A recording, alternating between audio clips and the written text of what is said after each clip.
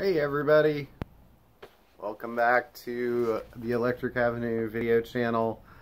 Uh, man, there's a ton of stuff going on this week. Um, so I guess I'm going to try and stick a little more to the business side this time. Uh, I'll say thank you to those of you who went ahead and responded last time to my uh, sort of inadvertent request for positive uh, reviews. I think um, that was very kind of all of you who did that and um, much appreciated. Uh, uh, won't, I won't take any more time uh, dealing with uh, talking about that at the moment. So let me just get on to some uh, new release info and um, show you what sorts of things are around this week. Uh, let's see. Gonna kick. Oh, I'm in a different corner too. I suppose you probably noticed that try and mix it up a little bit. It's always hard setting these things up and then you think, gosh, I look like crap. And it, this week I discovered that um, many of you, well, I'd heard this a while back, but many of you are actually watching these things on your televisions. And I'm like thinking, oh no, I need a makeup team. Uh, I need better lighting. Um, today I feel a little flushed probably because uh, it's so warm here and I've been doing some physical things in the shop trying to get these records together. And uh, on top of that uh, it's also I got a shingle shot earlier this week. Maybe that dates me. But uh, three days later and it's still kind of sore. So who knows? Anyway gotta time all these vaccines out right? All right so first thing I'm going to show today is the new uh, Deafheaven, which um, actually came out mm, a week ago. Uh, if you didn't get it, it's Infinite Granite. I know it's sort of controversial for them because it's a, um, more of a shoegazy record and more melodic than usual. Some people love it. Some people think they've taken the worst turn in their career. I guess if you want to liken it to how a band like King Gizzard is always sort of every album is different. I mean, maybe that will give you an entry point. I'm not sure. But if you like 90s My Bloody Valentine or Slowdive, that might be the record for you. Uh, one big thing this week in the jazz reissues is Trio 64 by Bill Evans. And this record, uh, Gary Peacock on bass, uh, Paul Mo Motian on drums, think I'm saying that right, or Modian. Um, this is an acoustic sounds release. Uh, Analog Productions is sort of involved with them. This is basically Verve's answer to Blue Note's Tone Poets. So uh, they probably won't be real easy to get for very long, so get on that if you want that. Um, still waiting for the actual box set of these. Well, I don't know. It depends on when this video goes up. I may already have them. Um, but this is kind of exciting. It's the Beach Boys, Feel Flows. So really what this is, is this is the regular record. Two landmark Beach Boys albums plus eight previously unreleased bonus tracks. It's the Sunflower and Surf's Up albums. Uh, Surf's Up is pretty great. I don't know if I've heard Sunflower in a while, but this is the period right after Smile uh, what would have been Smile. Um, it's odd on the vinyl how they've inserted the bonus tracks. They, they do the entire album, but they put the bonus tracks, some of them, at the end of side A and side B in both cases. So uh, one you'll get uh, Disney Girls, and then two tracks later you'll get the live version of Disney Girls. So um, it's a little odd with the arrangement. There are uh, vinyl box sets and CD box sets of that though as well, and the CD one is quite expansive. So check it out if you're into Beach Boys in that era. I mean, that's one of their best eras, I think. Uh, Chvrches are back with their new album, Screen Violence. Boy, that's a great cover. It's almost like horror film sort of inspired. Robert Smith of The Cure does a duet on this record. I think Hayley Williams of Paramore as well. Um, supposedly, it's a little uh, deeper and darker than their last record, which they sort of got a little bit of critical criticism for being a little more lightweight. So it's their fourth album already. Uh, this is a big deal this week, Big Red Machine. Uh, if you guys didn't hear the first Big Red Machine album, you really missed out, especially if you're a Bon Iver fan. Um, Justin Vernon had a lot of great stuff on there. It was him with uh, the Nationals' Aaron Dessner. And if you're not aware, the two of them have gone on, especially uh, Aaron Dessner has had great involvement in the last couple Taylor Swift albums. Bon Iver has a well as well, Justin. And Taylor Swift actually guests on this record, and so does uh, Fleet Foxes. So you might want to check that out. It also has Sharon Van Etten, Lisa Hannigan, um, My Brightest Diamond, Anais Mitchell. Um, so there's a lot of a lot of people on it, but Taylor is on looks like two tracks. Um, okay, well I have to censor this one a little bit. It's Halsey's new record. Uh, the is pretty. I mean, it's a Janet Jackson moment. I'm not gonna lie. Um, the interesting thing about this record, and I, I, haven't heard it yet, is that Trent Reznor and Atticus Ross produced this, uh, which was my first kind of inkling of them doing a pop-based record. Maybe they're getting tired of soundtracks and they just want to branch out. So um, anyway, I have to be careful about how I refer to Halsey now because I think she's going by a they. So um, different pronounage. But anyway, uh, she just had a baby, so there was a lot, uh, a lot of emotion that went into making this record. So um, anyway, hope to hear it shortly. Uh, moving right along, there's a Megadeth. Uh, this is unplugged. Can't imagine on silver vinyl. This is sort of or clear vinyl. Sorry, this is sort of limited. Um, so recorded in 2001.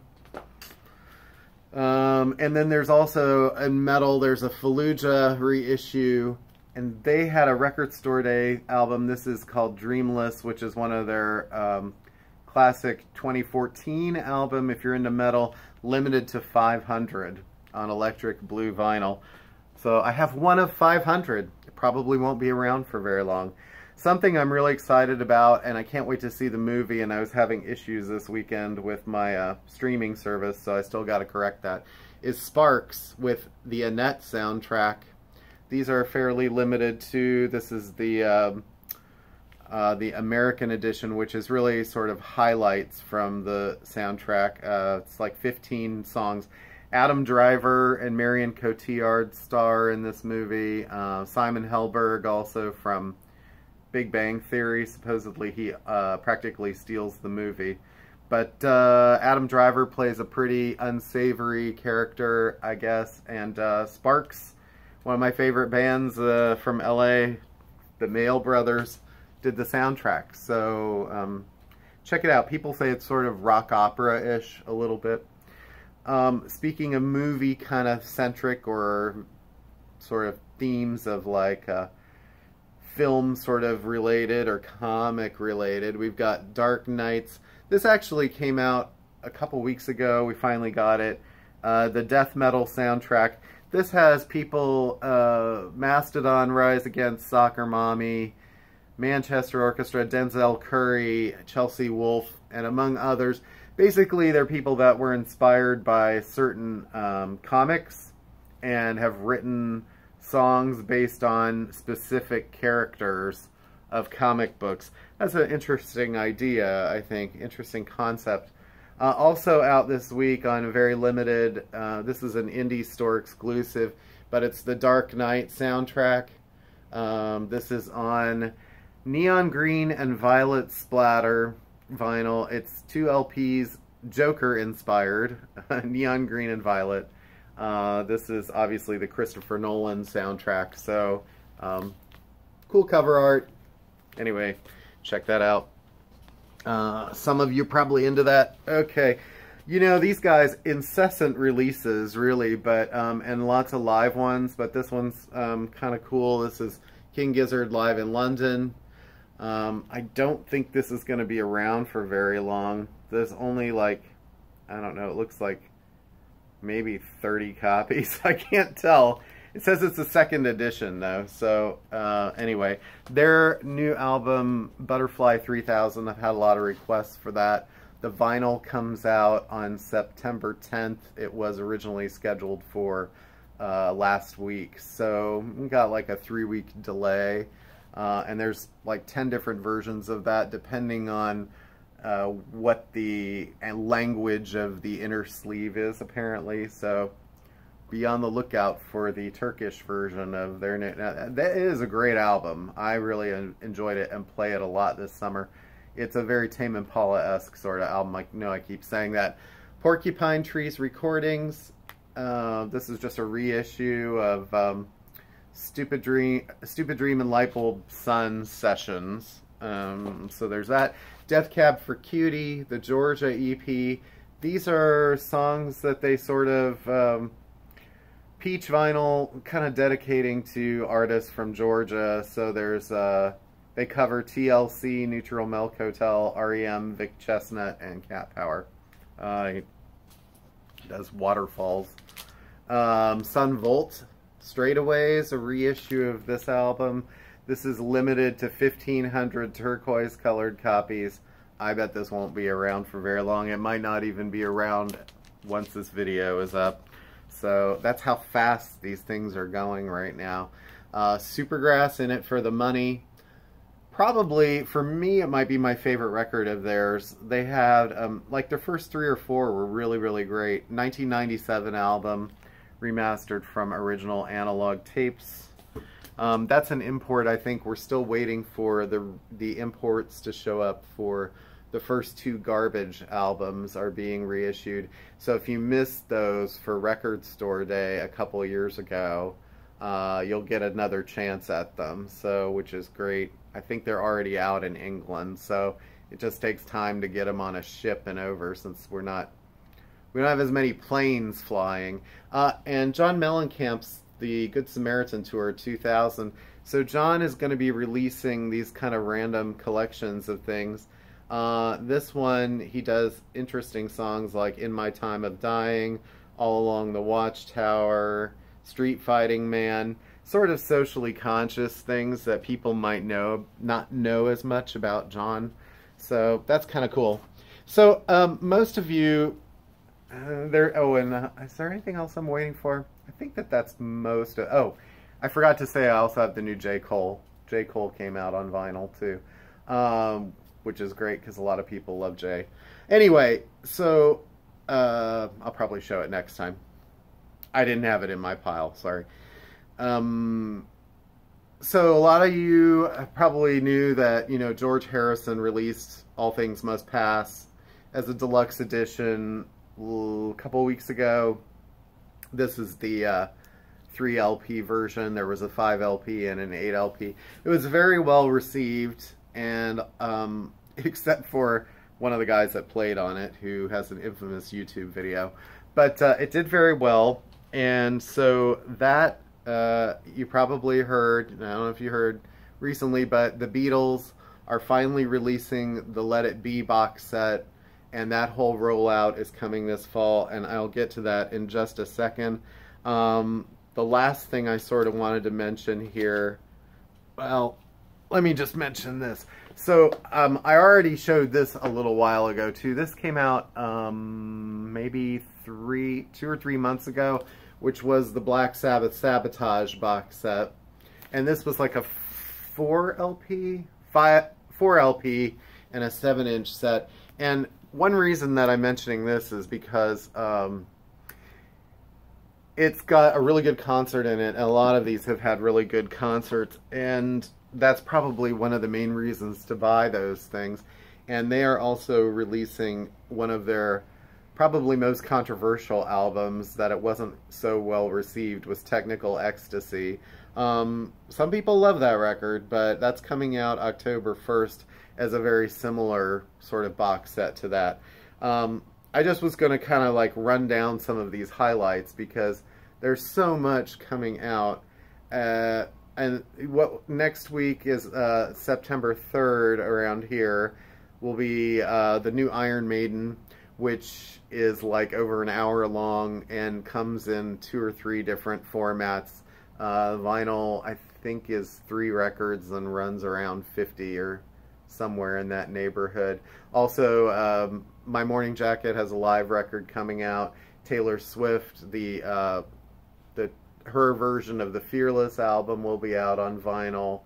Uh, so there's quite a few sort of like things they're kind of cleaning up from the summer to. Uh, there's a Rory Gallagher box set. His first album comes out then. Then we're talking September 10th. So that's when um, I mentioned the King Gizzard, the Modest Mouse album, the recent one that's been out for three months on CD, is finally out on vinyl. That's a great record. And um, there's also the Metallica box set, which is uh, the Black Album. And that, uh, there's, so there, there's a big deluxe edition of that coming out. And, uh, you know, I think that that's a pretty iconic record, and I can see a lot of people being interested in it. It runs around $250, which seems to be about the normal price for these super deluxe versions of things. But hey, listen to what's in it though 14 CDs, 5 albums, and 6 DVDs, uh, plus a ho host of other paraphernalia and collectible stuff. Um, I'm sure there's a book of some kind in there. So you know, if you're a serious Metallica fan and you love that record, and people say 16 CDs, my God, what's on them? Uh, you know, I'm sure there's a fair amount of live material. Um, I haven't looked at all the track list, but I'm just making you aware of it if you weren't aware of it. Uh, September 17th, there's a Bob Dylan box set. It's the first five years of the 80s, uh, Springtime in New York. It's a five CD box set, or they're putting it out on two records. Um, if you got in on uh, Third Man had sort of a limited thing where you could get all the extra stuff through them, but you had to sign up back at the end of July and uh, for the vinyl. Um, so the vinyl that we're getting is sort of like the cut down version, but uh, but the CD is like a full version. All right, so I mentioned um, October 1st with uh, Black Sabbath Technical Ecstasy. And there's also two Steely Dan live records coming out that day. One and their recent live performances a couple years ago. One is all Steely Dan material, and the other is Donald Fagen's The Nightfly. So those might be of interest to Steely Dan fans. All right, so the big thing I was kind of mentioning, Let It Be, and that box set was just announced for October 15th, 2021. Um, five five records in the box. There's the new mix of the album. The second record's Get Back, the Apple Sessions. The third record is Get Back, Rehearsals, and um, Jams. And then the fourth one is the unreleased Glyn Johns version of the album, which I think is very interesting. And uh, the Let It Be EP is the fifth record.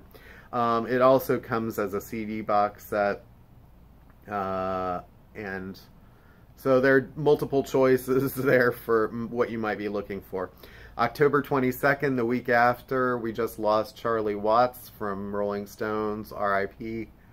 I don't know how Keith Richards is still breathing and Charlie's gone. Um, but that's more of a personal issue, I think. Um, the, love those guys. No, no offense, no offense, Keith. Um, he might he might agree with me. Tattoo You, uh, Tattoo You is finally coming out as a box set also, and that's also a five LP set, um, or a five, five, four CD and a picture disc set. So, and uh, those run between 150 and 200 depending on what they are. October 22nd, there's a Nick Cave box set, uh, B-Sides and Rarities Volume 2. So you can get volume two, which is a, like a two LP set uh, or a standalone CD by by itself, I believe. But uh, if you want to get volume one on vinyl as well, uh, the only way that you're going to be able to get that is if you buy the entire box set, which is one and two together. It's sort of like they're putting it as out as one package, couple hundred dollars, seven records um, and I forgot to mention that Metallica too. They also have a a seven record four or four CD set of uh, people covering songs of Metallica's Black Album coming out as well. I mean, yeah. October 29th, REM releases New Adventures in Hi-Fi, the deluxe edition of that. November 5th, there's a 9 LP Billy Joel, uh, all of his albums from the 70s, plus an unreleased live record. Uh, then we get to November 19th, there's Genesis with The Last Domino, which is a 4 LP set. Uh, and then there's also Oasis live at Knebworth in 1996 another sort of thing. Uh, and other random box sets I saw listed from like Elvis Presley and the replacements. So you might want to check those things out. Uh, and the weirdest one of the day, or I should say, most unexpected, was uh, ABBA sort of posting a cryptic message on their site about uh, Voyage, which I guess is their first unreleased material in 40 years, or re released material in 40 years. So far, they've only said that there are about five songs that they've been working on, um, which comes out to, what, one song every eight years? Not highly prolific then, considering that back in the day they were putting out about an album every year. Um, so and apparently there's going to be some hologram tour attached to this. I'm not really sure. It's all very cryptic, but they're at least confirming the information now that it is, is really going to happen. So, hey, Mamma Mia fans, get your bell bottoms on. all right. Um, hey, well, you know, fun. um, I, I mean, I, look, I, one of the first records I ever bought was probably, well, I'm sure, I was, was an ABBA record. Um, I think it was Super Trooper. I don't remember which one. But uh, I liked their voices as a kid. Not to lie. So, um, I mean, I still like their voices. Come on. This is the thing. People talk about guilty pleasures. I mean, should they be guilty unless they're... I mean, if they're just a pleasure, you shouldn't be guilty about it unless it's something that's causing you harm or causing others harm, I suppose. But, uh, Anyway, um, well, you see, you had Billie up here, you got Lorde, you got Olivia Rodrigo. I mean, these people are, they've been flying off the shelves. And so as we all go back to the fall, um, you know, there, keep an eye on my mask updates. Right now, it's still masks optional, but um, I've been doing that for about six weeks now, five, six weeks. Um, it's I guess it's been going okay. I seem to feel like there's more people coming in with masks on again. So, um, you know, maybe we're changing again. But anyway, I'm running out of time. Thanks, everybody. Hope you enjoyed this. Have a great weekend. Uh, I hope you're not watching this on a massive TV. you can watch it on like a little TV. okay, thanks. Take care. Be well.